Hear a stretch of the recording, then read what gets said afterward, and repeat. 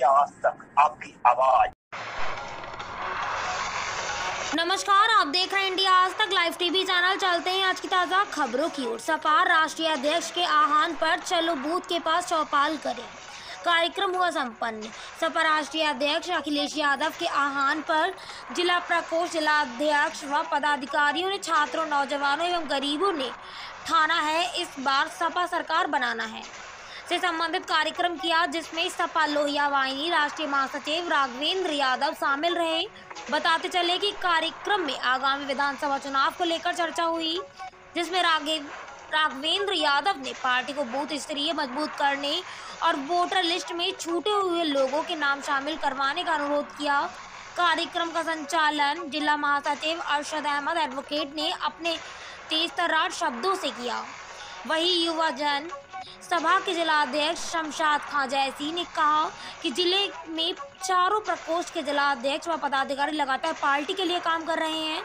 विधानसभा तिल्दोई के पूर्व एवं भावी प्रत्याशी जुनैद हसन ने अपने संबोधन में कहा कि पार्टी कार्यकर्ता लगातार जनसंपर्क करते हुए सपा सरकार में हुए विकास कार्यों को बताने व ज़्यादा से ज़्यादा लोगों को पार्टी में शामिल करने का काम कर रही है। युव जनसभा जिला मीडिया प्रभारी मोहम्मद रवर सिद्दीकी ने बताया कि इस मौके पर युव जनसभा के जिला अध्यक्ष फरहान अनवर खान ने अपने जोरदार संबोधन में कहा कि प्रदेश की जनता भाजपा सरकार को उखाड़ फेंकने के लिए बेसब्री से सन 2022 विधानसभा चुनाव का इंतज़ार कर रही है तथा इस बार पूर्ण बहुमत की सपा सरकार बनने जा रही है। अमेठी से उमेश कुमार शर्मा की सरकार का कार्यक्रम था भैया? आज हमारे समाजवादी पार्टी के राष्ट्रीय अध्यक्ष श्री अखिलेश यादव जी के आह्वान पर हमारे ज़िले में लोहिया वाहिनी के राष्ट्रीय महासचिव राघवेंद्र जी आए, जिन, जिनके कार्यक्रम चलो, बूथ के पास चौपाल करें कार्यक्रम में उपस्थित हुए, जिसमें हमारे सभी प्रकोष्ठ, चारों प्रकोष्ठ के जिला अध्यक्ष उपस्थित रहे, खासतौर से हमारे जिला अध्यक्ष शमशाद खान जायसी जी।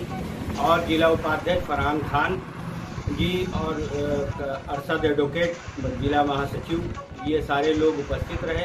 कार्यक्रम सफल हुआ। उन्होंने माननीय राष्ट्रीय महासचिव जी ने पार्टी को मज़बूत करने और बूथ स्तरीय काम करने और बूथ मज़बूत करने के लिए हम सभी से अनुरोध किया।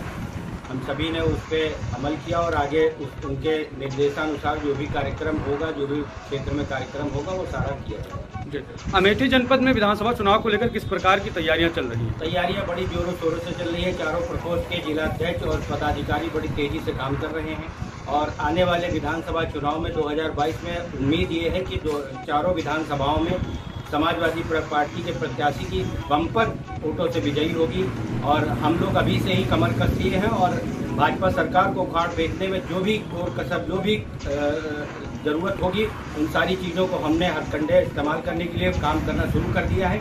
जन जन तक पहुँचने और हर एक के साथ बात करने हर एक के साथ मिलने, बैठने, बात करने और कार्यक्रमों के माध्यम से पिछली सपा सरकार की विकास कार्यों को जन जन तक पहुँचाने का बड़ी तेज़ी से हम लोग काम कर रहे हैं और उम्मीद ये है कि चारों विधानसभाओं के साथ में 350 प्लस सीटें हमारी उत्तर प्रदेश में आएँगी, जिसमें हमारी सरकार, समाजवादी पार्टी की सरकार, पूर्ण बहुमत की सरकार हमारी बनेगी।